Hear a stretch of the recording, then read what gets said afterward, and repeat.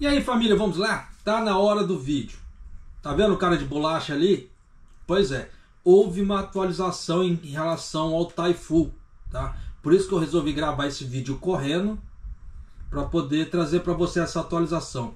No último vídeo, eu havia mostrado ali, de acordo com a meteorologia, que ele ia chegar no dia 27, tá?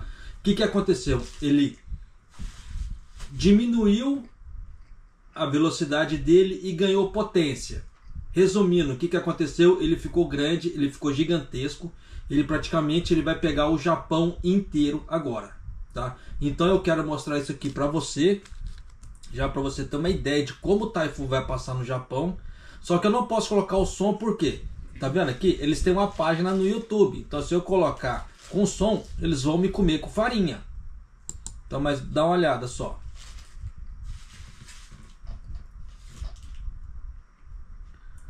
Dá uma olhada como é que o bicho tá ficando, olha o tamanho dele. Então dia 27 ele ia chegar aqui, mas você vê que agora não é dia 27, é mais dia 30. E dia 30 é quando ele vai pegar. Né, pro lado aqui de Osaka, aí tem Nagoya pro lado de cá e Tóquio aqui. Então ele vai chegar na sexta-feira, dia 30. Mas você vê que, ó, tá vendo a massa de ar quente que tá vendo aqui, ó, já tá está mudando toda tem o como é que se fala assim, o clima. Olha o movimento como é que vai ser. Toda a massa de ar que ele está mexendo.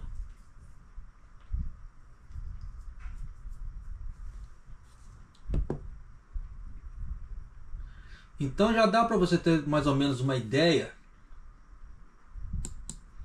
que o bicho vai pegar. Tá. Vamos lá agora. Agora vocês vão ver minha cara feinha aqui. Então já dá para vocês terem uma ideia, mais ou menos, que o bicho vai pegar. Tá? E ele está muito grande.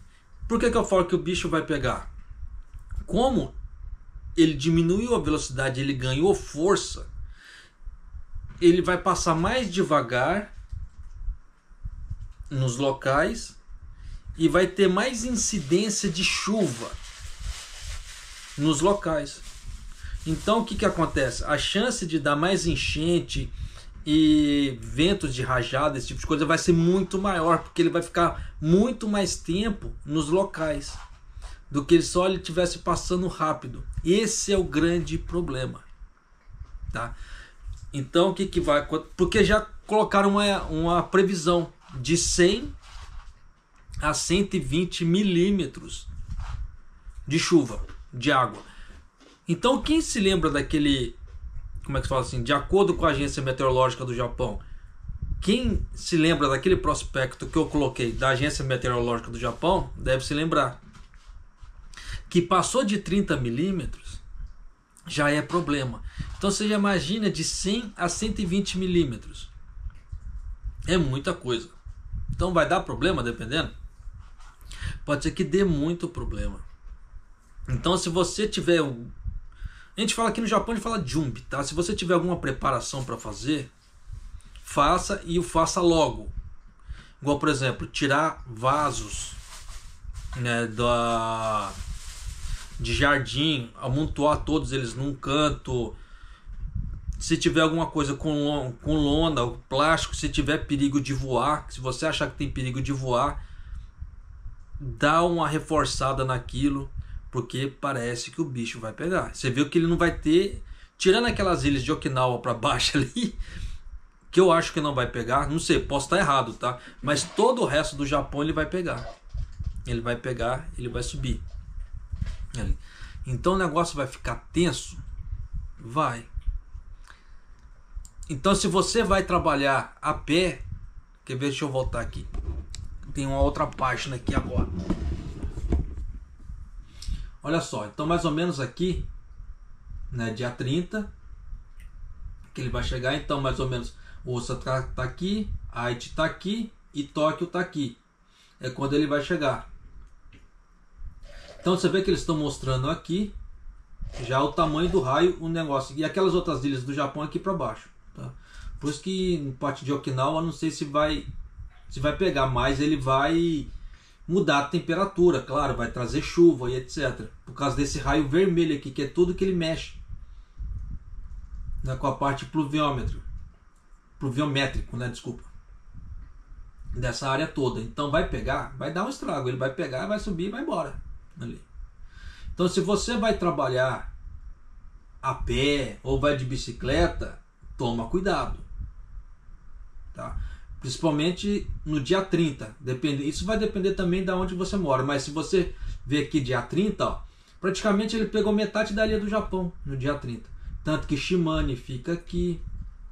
Pra cá, se não estou enganado. Eu não lembro onde fica aqui. Onde deu aquele terremoto de Miyazaki foi aqui. Tá? Osaka está mais ou menos aqui. Shimane está aqui. Totori está aqui. Tá? Então tem que ir tomando cuidado pra caramba tá? nesse ponto.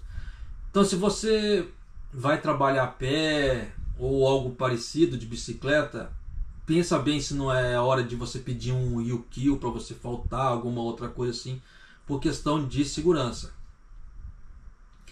Aqui dá para vocês terem ideia que ele diminuiu um pouco a potência também. Vocês lembram que aqui ele estava 40, se eu não estou enganado? Você vê que caiu pela metade, pô, bacana, bacana pra caramba. Mas ainda assim, ele vai ter uma grande força, tá? Porque você vê o tamanho do raio dele aqui. Então tem muita coisa que vocês precisam tomar cuidado. Faça a preparação, igual aquela ideia também. Deixa eu ver se tem mais alguma coisa para cá. Aqui é a incidência de, de mar, de massa, né? Que eles estão mostrando. Também está mostrando a, a velocidade, velocidade não, o sentido dele. Por onde que ele está indo, por onde que ele vai, por onde que ele vai subir. É, é isso aí. Então, como é que se diz, não tem muito mais o que fazer. Então, quem puder, vai se preparando, tá? Igual aquela ideia também do estoque de água, alimento, etc. Porque a gente nunca sabe o que, que acontece. Pode ser que estoure um cano de água por causa do volume de água, o cano não, não aguente. Então arrebente o cano e pode ser que falte água na sua casa, luz. Então se você tiver bateria, deixa os power banks carregados ou algo parecido. Mesma coisa, se você tiver fogareiro, já deixa todas as coisas prontinhas ali, se precisar de cozinhar, se já tem, se faltar gás, por exemplo, ou faltar luz, porque tem casas que se faltar luz não cozinha, porque o fogão é elétrico. Então se tiver um fogareiro, dá para a pessoa já ir se preparando, tomando seu cuidado. Então, nesse ponto, façam as preparações de vocês, porque a gente nunca sabe o que, que acontece. Não deixa para a última hora, não deixa remediar.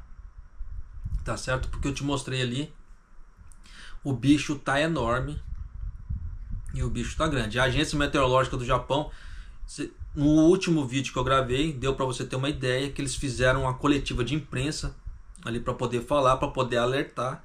Então, o Japão em si eles estão de tempos em tempos eles estão alertando as pessoas, ó, oh, vai ter o taifu, vai ter o taifu, vai ter o taifu, se cuidem, se preparem, se cuidem, se preparem.